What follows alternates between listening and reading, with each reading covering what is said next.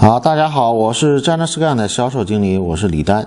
今天呢，我给大家啊介绍一下我们的云扫描二二维条码扫描器是如何跟安卓的呃智能平板是如何连接的。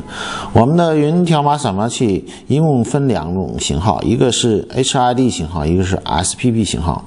HID 型号它可以兼容各种啊苹果的智能设备和一部分的安卓。设备，那我们 SPP 型号可以兼容所有的这个安卓的设备。那今天我给大家演示一下，是我们的这个云扫描二维 GS- 杠 M 五百 BT 啊 SPP 版本是如何跟安卓平板进行连接的。好，首先我们需要在这个呃我们的安卓平板呢安装一个蓝牙输入法。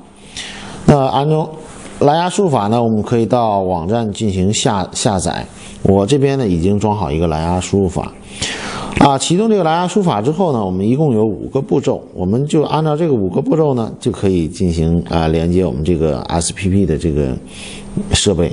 那如果您需要用 HID 设备呢，就不需要安装我们这个蓝牙输入法，它直接可以连接就可以使用。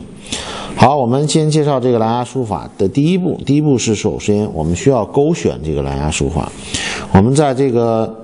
蓝牙设备里，呃，输入法的这个设备里边勾选一下 JanScan 蓝牙输入法。我们勾选好这个设备之后呢，我们点返回键，我们点第二步，开启蓝牙设备。那这时候呢，我们在这里边就要去和这个我们的蓝牙条码扫描器进行配对。那在配对的时候，我们只需要啊扫描一下我们的这个快速说明指南的蓝牙配对条码。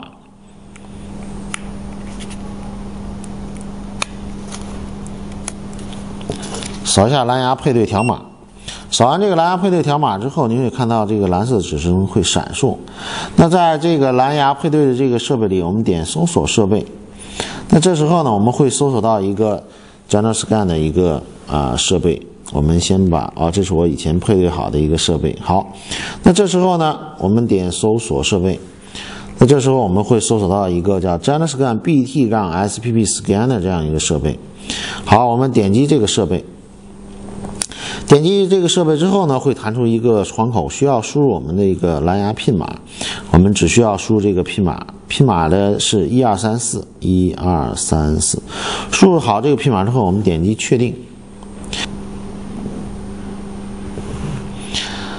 好，我们配对好之后，我们点击这个下一步选择设备。那我们在这个蓝牙设备的列表里面会看到，我们刚才已经。要选择好的这个设备，选择好设备之后，我们再点返回键，我们点击启用我们的蓝牙输入法。那这里边我们已经选择好启用蓝牙输入法。最后一步是测试，测试的话，我们点击测试之后，我们就可以进行输入。那这时候，系呃我们的蓝牙输入法会自动连接我们的二维条码扫描器。那这时候我们在输入框就可以提，哎，扫描数条码。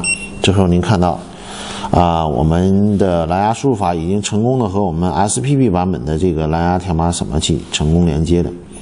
好，这时候我们再切换到您的应用里边去，我们随便开一个啊记事本软件。那开记事本软件之后，我们会啊有光标的地方就可以直接啊扫描条码，非常方便。那我们可以呃随便拿一个我们啊。